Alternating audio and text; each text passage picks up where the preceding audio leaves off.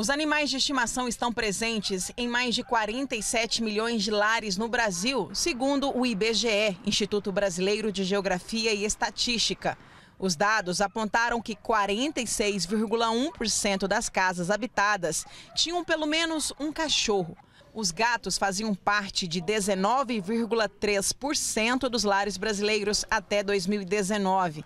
Hoje, este número pode ser ainda maior. Agora, os animais, digamos que diferentes dos tradicionais, têm saído do quintal, das fazendas e até das matas e tomado não só as casas, mas também o coração dos humanos. Os famosos puxaram a fila de pet exótico. A apresentadora Lívia Andrade tem uma coruja e um bode para chamar de seus. A musa pop Milo Cyrus era dona da porquinha Pig Pig, que estampou várias fotos e era amada pelos fãs. O ator Arnold Schwarzenegger tem um pônei que o faz companhia até no escritório. A lista é grande, mas os anônimos também não ficam atrás. Do portão para dentro, a variedade é grande de animais. Cachorro vem em primeiríssimo lugar, seguido pelo gato. Em seguida vem os pássaros e os animais répteis. Mas o que leva uma pessoa a querer um bichinho de estimação? Claro, várias coisas, né? É a companhia, é a alegria que o animal traz. Só que a Delma surpreende. E ela tem um animal que é um animal doméstico, porém meio inusitado, né, Delma? Sim, é o Regis. É o Regis. E aqui é o quartinho dele. Isso, é a caminha dele aí. Ele viaja nessa casinha e dorme nela. Não, e olha só, até a decoração é estilizada é. em galinho.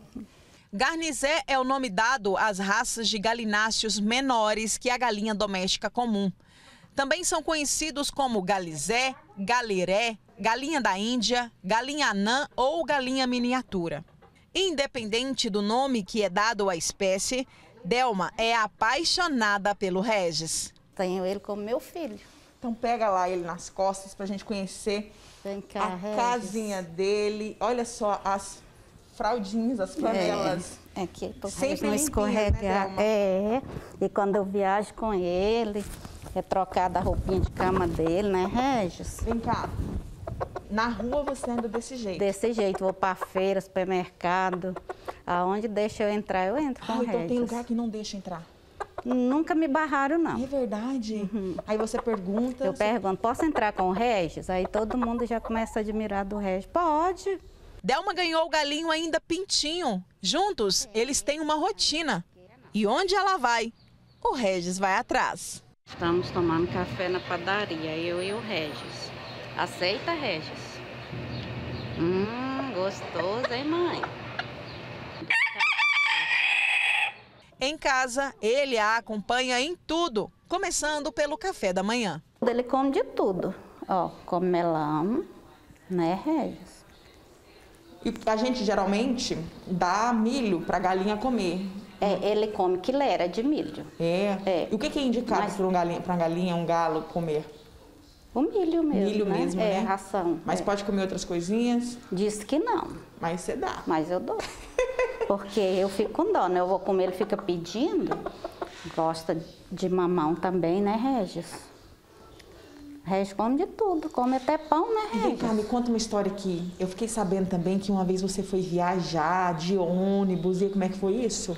É, aí eu fui, né, com ele, a empresa deixou eu levar ele lá em cima. Aí quando eu entrei, todo mundo, ai, um galo, um galo. É, Aí, quando foi de madrugada, o Regis começou a cantar. Mentira. E o motorista falou assim: ai, que bom, a gente não dorme, mas eles não vão dormir também, não. Aí colocou uns galos cantando no celular. E esses motoristas davam risadas. e o Regis cantava, que eu ouvi outro galo cantando, né? E ele cantava o tempo todo. Quando ela ameaça arrumar as malas para viajar, o Regis canta e fica cheio de expectativas.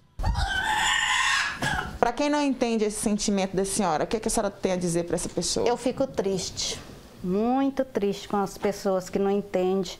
Muita gente fala, vamos comer o Regis. Eu não gosto. É um tipo Chega de brincadeira, dói, então? É umas brincadeiras de mau gosto. Quando ele vê a moto da Delma sendo ligada, ele fica desesperado, pois não quer ficar sozinho. Bora, Régio, bora, bora, anda. E todos tá? os dias é isso, dona Delma? É. Vira esse escândalo. É. Não Pula. quer ficar só. Entra. Ó, olha ele. Entra. Vai, vai, vai. Vai. Olha isso, gente. É um filho para ela, né?